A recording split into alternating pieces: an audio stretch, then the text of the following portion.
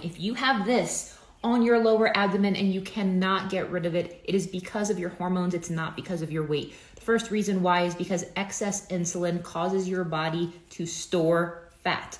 All the extra calories that you consume cannot be metabolized as fuel. They are signaled to be stored as fat. So, the number one way to do so is by increasing your dietary fat intake, moderate in your protein, moderate to moderately high, and going lower in your carbohydrates. The next reason, when your estrogen levels are high relative to progesterone, and this even occurs in menopause, your body is going to get the signal to store everything as fat, specifically in the abdomen. Last but not least, if your cortisol levels are elevated, and as a result, if you keep trying to eat less and less food, your body is not going to get adequate nutrients it needs to bring the hormones into balance and oxidize fat as fuel. You have to remember hormones are like an off on switch.